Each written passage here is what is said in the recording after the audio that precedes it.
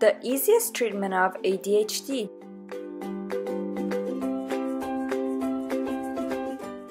Hyperactivity is mainly linked to the function of dopamine, which is regulated by the hormone melatonin. Melatonin is metabolized through the action of zinc and therefore zinc plays a role in the treatment of ADHD. Zinc is necessary in the metabolism of neurotransmitters and for brain functioning. It is also needed in protein synthesis, growth, immunity, and the transport of solutes in the body. Some evidences have shown many children with ADHD have lower zinc concentration in their body in comparison to healthy children.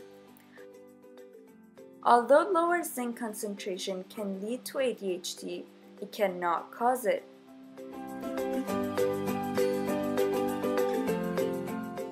Zinc deficiencies have been linked to reports of mental retardation, growth failure, mental lethargy, emotional disorders, loss of appetite, weight loss, continuous fatigue, and depression. The improvements seen in children with ADHD confirm the role of zinc. And supplementation is the enhanced treatment of this disorder. Thank you for tuning in and feel free to watch our other videos.